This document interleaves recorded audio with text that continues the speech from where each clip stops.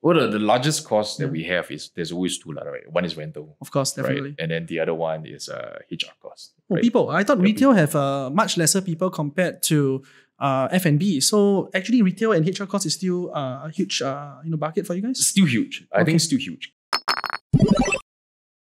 Welcome to the Brick Mortar Cloud podcast, where we share scaling stories of F&B and retail companies. I'm Janson, one of the co-founders of StaffAny, and this podcast is brought to you by StaffAny as well as produced by Nick Chan. Today, we are honored to have Lim Chun Seng from the Moneymax Group to join us on today's episode. Hi, Chun Seng. Hi, hi. Thanks for having me here today. Awesome. Uh, bro, could you share a little bit about yourself uh, to the audience? Okay, sure. Yeah, hi everyone. Uh, my name is Chun Seng. I'm the Group General Manager for Moneymax uh, Financial Services. Uh, well, a little bit about myself. I, I used to study in the UK, uh, and I, I used to read law in the UK actually. Uh, finished my my uh, legal training, and uh, and then I went back to I went back to uh, to help my family business uh, before before I got called to the bar. So that was about five years ago. Uh, so five five years in now, uh, managed to to to bring some business units up along the way. Uh, and so so that, that that's where we're at uh, through COVID and stuff like that. So it's been quite a ride for us. Super, super. Uh, could you share a little bit about the vision of uh, Moneymax Group? Sure, sure, sure. Uh, our, our, our vision is actually very simple. Uh, our, our main objective uh, is to provide access to credit, right, uh, to people in Southeast Asia. And then, uh, and if, if maybe I could just explain it in terms of uh, the business verticals that we have. Uh, I think the one, the traditional brick and mortar business that everyone's very familiar with the brand would be our pawn shops, Yep. right? Uh, pawn shops, you know, for those who, who may not really understand what the business is about, is essentially uh, collateralized lending. Right. Right. The older form of collateralized lending, right? Where, where they bring like, you know, go chains, go jewelry, right? Diamonds, whatever that they have at home, right? And they come and then we you know we exchange for a certain certain loan to the, the value of the item. Uh, together with that, we have a second vertical, and, and, and that's where our retail business came in right? Uh, so those, those two, those two are, I think it makes it, it forms the Moneymax outlet that everyone is familiar with, you know, Right. that, that- that's familiar to the man on the street. Right, right. Uh, of course, in our podcast, we are particularly interested in the brick and mortar side of things. Exactly, exactly. So maybe uh, just to highlight, uh, in terms of Moneymax, the pawn shop business and the Yes, retail yes, business, yes. how many outlets do you have in uh, you know Singapore and Malaysia as well as the rest of the world? Uh, yeah, we we have our presence mainly in uh, Singapore and Malaysia. Um, I think we're close to hundred outlets uh, Wow. across across across two two countries now. Uh, slightly different for both of them, right? If I, if I go back to my previous point just now, the, the the the question that they always had for us is what what really made us stand out, right? Right. We, we we we came into the pawnbroking industry in two thousand eight, right? The pawnbroking industry is uh, uh, it's been around for a long time, Yep. right? So, so and, and so the, the first question that people always ask us is what what what really made you guys so unique that you could you know go in and market and and, Right. and, and, you know grow so fast Right. at a period, right? And and the answer really is on the retail side of things. Okay. Um, when we came in, I don't know if you guys have seen the uh, old old uh, pawn shop, before, right? Like you're you know the editor, you can put you can put some dodgy, photos yeah. here to show, right? The old one, you know they always have these steel bars. Right, then a bit right? dodgy. Yeah, a bit, uh, I would say grey. dodgy, a bit Okay, forbidding, okay, right? It's a bit forbidding, right? Got it, got it, got and, it. and and and and the the the place the, the, the shop is always designed in a manner right that, that Right. puts I would say that puts the the pawnbroker in an unequal footing as Mm. compared to the customer. That's right. It's always at a higher position. Customers Right. always at a lower position, right? I mean, it's not whether it's right or wrong. That's just the nature of the industry Right. back then. Uh, when we came in, we were very clear that uh, we wanted to do something about this, right? We we thought that you know because of that there was a certain stigma attached to going into the uh, the pawn shops, Right. Right? So the whole idea about bringing a retail, infusing a retail element to the pawn shops uh, was that one, we could change the aesthetics of the place, right? So you take a look at our pawn shops, it's, it doesn't look like that. It looks like a normal It looks retail like a store, retail right? shop. It looks Yeah. like a place I, I want to buy like uh, gold. There's a recent product I saw online that you guys have like a 0.2 gram Yes, gold yes, yes, yes, and all. yes, It's very trendy. It's yes, very young. yes, yes, yes. Uh, I think jewelry as well. I look at the way you guys put the gold price of the day and everything. yes, yes. yes. And then the way you guys decorate, it looks like a retail shop. Basically, I'm, I feel like I'm going there to look at like secondhand products or correct, like correct. Ex- pre-love, exactly. uh, pre-love, but of course, uh, authentic, high Exactly, quality, high value. Uh, it's really a good uh, retail shopping experience. Exactly, exactly, exactly. So aesthetics is, is, is one portion, you know. We tried and and that alone it, it allowed us to stand out from you know uh, traditional competitors, right? So that's one. And and of course, then it's also this idea that you rightly mentioned, right? nobody really knows whoever who for even when a customer comes to our shop, nobody really knows whether the person is there uh, to buy a product, right? It can be brand new jewelry, Right. it can be secondhand jewelry, or they're there to pawn their stuff, Right. right? And and we we hope that you know by mere virtue of having this choice, right, we kind of Bring both sides, huh? kind of demystify and destigmatize the entire experience of going to the shop, right? So, so that was a concept when we first did it, uh, and I think that served us well. Uh, the second reason as to why we were able to penetrate quickly, right, uh, is is because by infusing this retail element into into the pawn shop, um, we were able to bring down the average PSF. We were able to justify higher P, Yeah. higher rental use, right? Yeah. Right, yeah. because then we have high. Naturally, we have greater Uh, turnover. it makes sense, right? Because I think a lot of your locations are quite prime. Uh, Exactly. train stations. exactly, Uh, exactly. first floor of the malls, like exactly. even like you know high footfall places, Serangoon Yeah. NEX or whatsoever. yeah, I see that everywhere. yeah, yeah, yeah. So with the dual concept, both the pawnbroking business and the retail business, you're able to you know, justify a better Eh, exactly. PSF rental Exactly. uh, business and exactly, get a better yield. e- exactly, exactly. Because we had higher turnover, right? So we Right. could justify paying uh, for prime locations, Yep. right? And, and and the nature of this business is such a lo- it's location, location. is always the most important thing, Right. right? So it's about having higher footfall, right? It's about it's about uh, uh, exposing your brand, Right. right? Uh, getting more eyeballs into it. Uh, so yeah, that, that was really that was really how how we started uh, back back then, and then. Uh, and then uh, in, in I would say maybe two three years back, uh, Right. we started really looking uh, into going to the Malaysian market. Uh, we've been in Malaysia for a while already, about Yeah, ten years. I, I saw online that you guys had a drive-through yes, uh, yes, pawn yes, shop, right? yes. We did, we did, we did. Tell And- us and- more. That's a really a good idea, right? Yeah. Like uh, McDonald's drive-through, very popular over there, Starbucks drive-through and everything. And now we have also pawnbroking as well as uh, do you do a retail side or mini pawnbroking as Uh, in, in, in Malaysia, it's just on the pawnbroking side of things. Uh, again, there, you know, it goes back to the same consideration. Mhm. Rental there is a lot cheaper, right? right. So there's not really a need for us to to to, to mix the the, the Right, the businesses business. together. Uh, but but back to your point, actually, it's quite interesting, right? Uh, we've been in Malaysia since uh, one four actually, right? So we took so this entire this entire new expansionary push that we had, it took it was a combination of say I would say about eight to nine years worth of uh, of of uh, experimentation, and learning the demographics and the know how, right? Uh, and on hindsight, it's really easy to explain. And I try to explain it now very quickly, right? Uh, and it looks really simple. There are really just three things that we have learned from um, our our decade, so close to a decade worth of uh, time there. One, right? Um, in Malaysia, uh, geographical distance is a real issue. It really is an issue, right? Because it is a it's, it's Singapore, one end to the other in Singapore, say 30, 40 km, right? 30, 40 km doesn't even get you past half of Johor. you get what I'm trying to say? Right. Now, because of that, right? One, uh, I think the reach of uh, public transport is is is not not as not as far, Yep. right, as, as Singapore. So because of that, everybody in Malaysia either drives or rides a motorcycle. Right. I think that that, that one I think That's fair, everybody yeah. it's fair, right? And so what we really realized, right, is that um, the business at our shop is not um, restricted by the demand in Malaysia because the market size in Malaysia is big. What we we we run our pawn shops not in the shopping malls where there's unlimited parking slots, right? We run our our pawn shops in in those in localized areas Right. they call tamans, right? Mm. Where you know there may be like 20, 30 parking lots, right? So strangely enough, our business gets affected, right, when the parking lots are full. right? It's limit, it's a real limiting factor to us. Right? It's a real limiting factor to us. And and of course, then there are other things also, right? Because it's the parking lots are all exposed to the elements. So when it's raining, we know definitely business will drop. Right. Right. Right, right, and and and yeah, so those those that, that is the real primary concern, right? It's about understanding the demographic and, and what's really going on, uh, right, right, right in the country Right. itself. And of course, the other thing that we we we also know is that uh, customers always want privacy, Mm. right? They always want privacy because Mm. when they come to us, obviously they have some some needs that they have to attend to. That's right. That's right, right, So privacy is always uh, at the top of their concerns. Yeah. And in Singapore, you mask it with the dual concept. Exactly. And in Malaysia, Malaysia, we- we- vehicle. yeah, yeah, exactly, sense, right? right? Yeah. Some privacy down there. I think that's really exactly, smart. Exactly, exactly. And and the last, uh, maybe only in Singapore. Singapore is probably the only place, right, where you can take cash and go around, and you're not scared, and you're not scared, right? I would imagine almost everywhere Anywhere else in the world. you, exactly. you'll be worried, right? And we, Right. we, we can tell, right? Like when customers come in, sometimes they bring plastic bags, sometimes they bring And like, stack of cash down yeah, there. and they wrap their newspaper and stuff. Like, people know also, right? So security is also something that we were thinking about.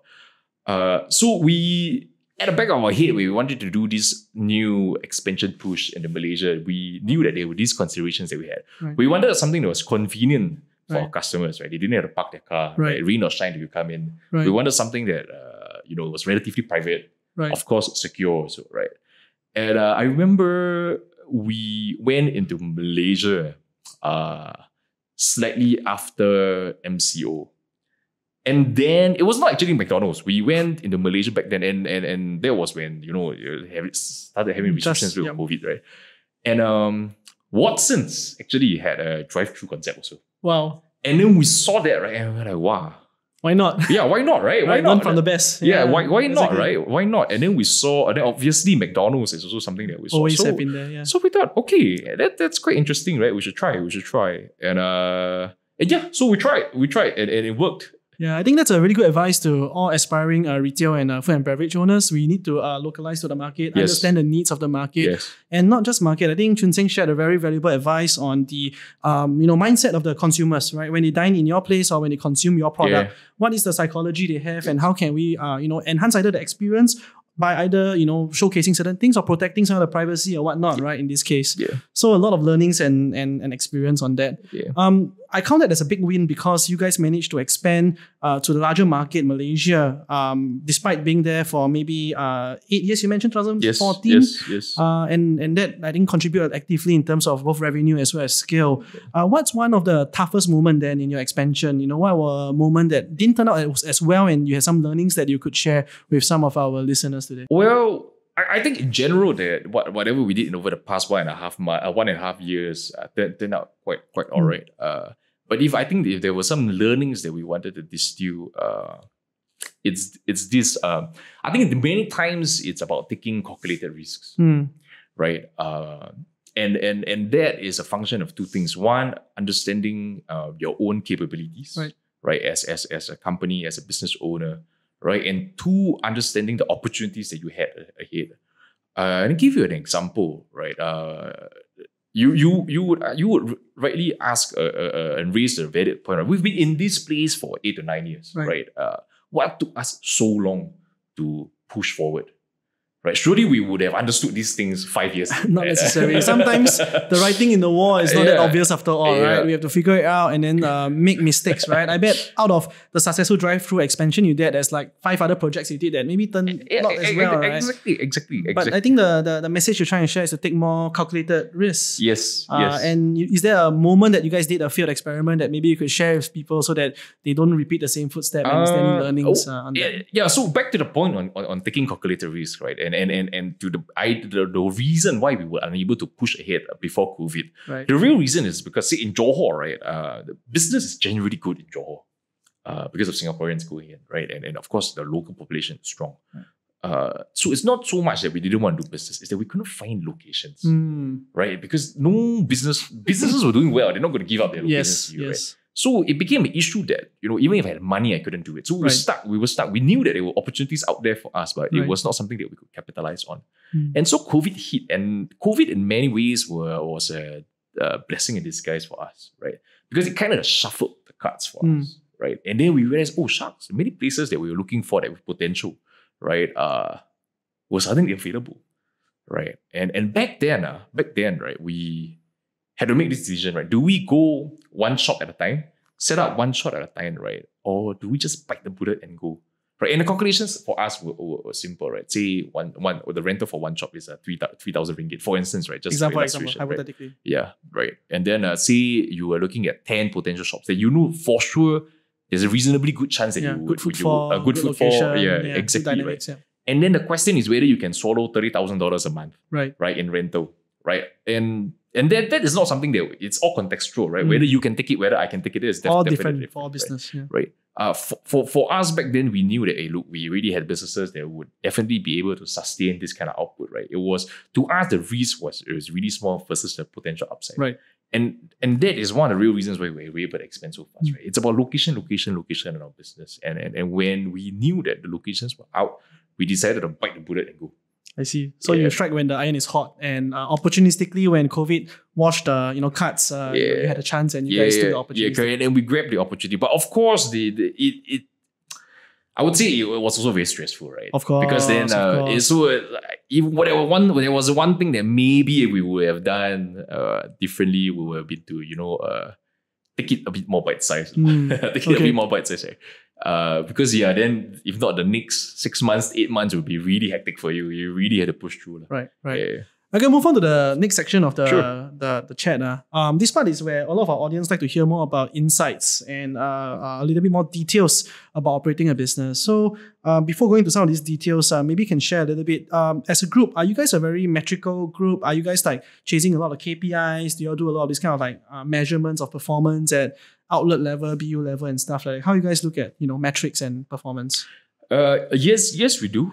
We we we are we are in many sense a, a, a more traditionally run business. Uh, uh, and and we don't really have many matrices that, that we really work on. Mhm. Uh, now now now that we have we that the, the second generation and we have a bit more uh like professionals on board, right? We we start getting a little uh different matrices that we use, real like turnover ratio stuff like that. Mm, Uh, but really, really, it all boils down for us, and I think it runs through the entire company, right? It's it's really about profitability, Right. Right. Uh, revenue, yes, is something that we look at, uh, but at the end of the day, uh, there's always this acknowledgement, and understanding that profitability is what puts uh, the dough on the table. right, right. Uh, so we we judge our businesses based on that, and we manage our businesses based on that also.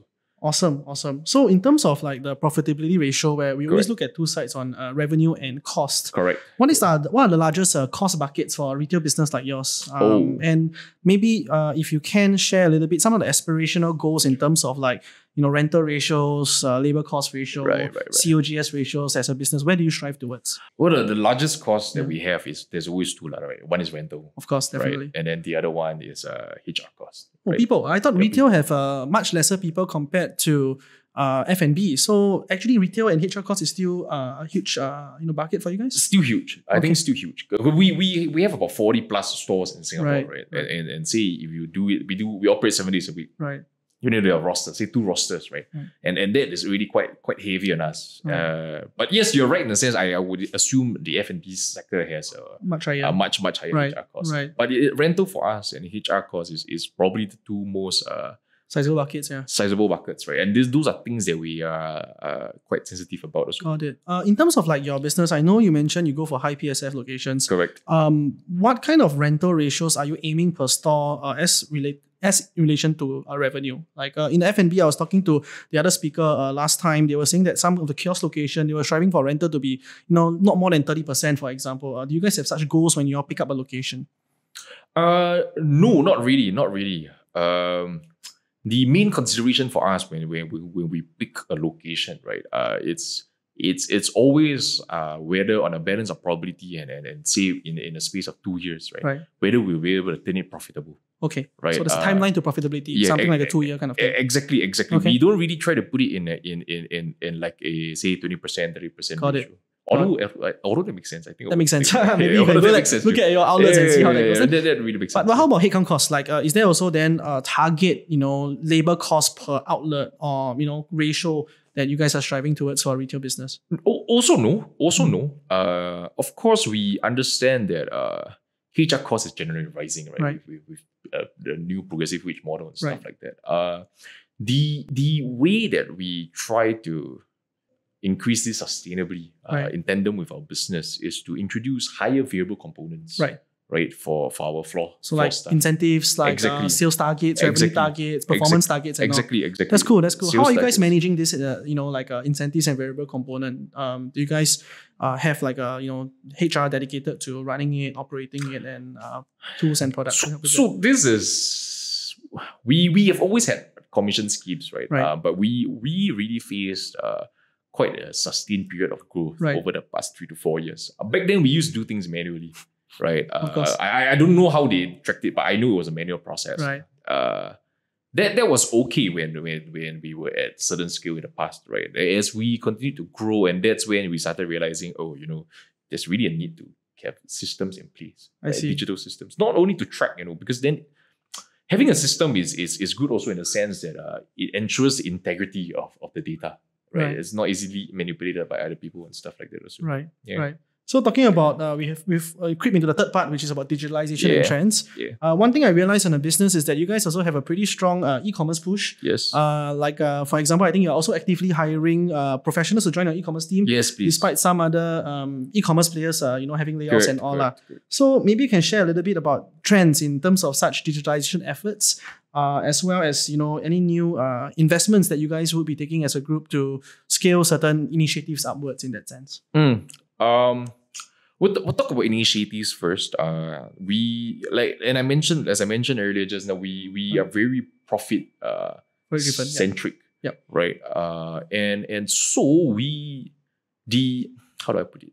Business units that we have under us, right? We always use uh, off the shelf systems first. Right. For instance, right? Right. And these systems may not necessarily be uh, tailor fit to what we are doing. Right. Right. But they get the generic work done. Yes. Say 60%, 70%, Right. 80%. Zero to one, they get it done. Yeah, exactly, exactly. It's about Yeah. it's about p- pulling Cross you through that. first, Yeah, yeah, yeah, exactly, exactly. And and so the, the, car- business is the car financing unit is, is, is Right. one such example, right? Once we're done with that, right? Now it, has reached a scale where it's Right. profitable, it can sustain by itself. And then that is when we come in to start investing in the infrastructure, Right, right? To build right. the to, to you know increase efficiency Right, of it. Yeah. And, and and so that's what we're doing uh, for the various business units also. Uh, and, and, and so so that's on that. Uh, e-commerce, thank you for bringing it up. Uh, Mm. is is something that uh, we we were really looking towards uh, in the past. I would say one year plus. Right. Uh, mixture of, of of reasons. One, the climate, or rather the consumer behavior, Right. right, has I think changed a lot Right. in the past two years. Right. I think there's a growing acceptance towards the marketplace and, uh, of course, uh, uh, uh, towards e-commerce. Uh, Right. my, my parents, for instance, also started buying things. That's awesome. right? I mean, when our parents start buying that thing, means it's already hitting the uh, mass market already, yeah, right, yeah, across the exact- chasm. e- exactly, exactly. Awesome, awesome. So, um, talking about digitalization and all, I know you guys have invested only uh, after you know achieving certain profitability of the business units, and it needs to be, of course, uh, uh, a very um, a conscientious decision, Yes. right? Um, what are some areas that you look at continually investing in terms of the digitalization of a business? Is there any trends, any products, any areas that you want to like look a little bit into in terms of potential areas of improvement in 2024? Right. We, we are primarily a lending business. And Right. I know it's a sexy thing to say, right? Right. AI, for instance, is a sexy thing to say, right? Uh, uh, we are not necessarily looking into that for Mm. uh, per se, but I, I would very much like to, to you know, uh, to further improve our systems, right? When it comes to um, credit scoring Okay, for customers, okay, right? Uh, the, the and the whole idea here is that we understand that some of our customers may not be as uh, as I would say credit worthy, right, right? So uh, the naturally traditional indicators may not work as well, right, right? So it, this is this entire idea that there must be something else in the big data, right? right, That can help us uh, come up with an alternative scorecard Right. for these people. Right? That's Right. the reason why they're here, right? right, right. Right, and and and uh, I don't have the answer to that. Uh, but if you ask me for my wish list, it would be something that that that that I would want. Uh, administratively, uh, I think we have many more things in the company that can be automated. I see. Right, um, HR side payroll, Right. right, attendance taking, these kind of things. These are all things that we have started to automate in the past uh, one six six Right. months to a year. Uh, our logistics, for instance, supply chain, right, warehousing. These are all things that we are looking at as well. That's awesome. That's Yeah. awesome, and I hope that uh, you know with this uh, concession approach, it has good ROI uh, for this year. I certainly hope so. Uh, so uh, I'm going to move on to actually the final section, Sure. which is actually the rapid fire Yeah, sharing yeah, yeah. Uh, session. So I'll ask a series of questions and uh, don't spend too long answering it. Uh, one word, one phrase. Okay, uh, I'll try. I'll try. All right. So uh, are you ready? Yeah, yeah. Let's go. All right. Let's go. So who is someone in the industry uh, whom you follow and learn a lot from? Um, Alex Chua from Gobel. What is one piece of advice you wish uh, someone had given you when you first started out? Uh, don't be afraid to make mistakes. If you have a son or daughter that is interested to join this money lending, money uh, you know, financing business, what is one advice you give your kid? Uh, you gotta believe in yourself. Out of all your outlets you have, uh, which is your favorite outlet to hang out at? Oh, that's tough, man. Normally, I ask the FNB guys what is their favorite dish, so I have to iterate on the question. uh, that, that, that's tough, man. Uh, but I think I think one of the, the favorite outlets I have would be uh, in, in, in Malaysia right now. Oh. Our store in uh, Johor. Yeah, yeah, yeah. Which one in Johor? Uh, Specific. People can go hang out on why? Is it because uh, the catalog is higher? No, no, no, no, no. Uh, it's it's uh, Taman Daya actually. Uh, we have a ni- very nice drive through that we just opened. Uh, we also have our our, our office over there. It, it's just a, It's it's, cool just a place that flagship, like. nice Yeah, stop. yeah, yeah. Okay. How should people follow you or your brand if they want to follow the journey?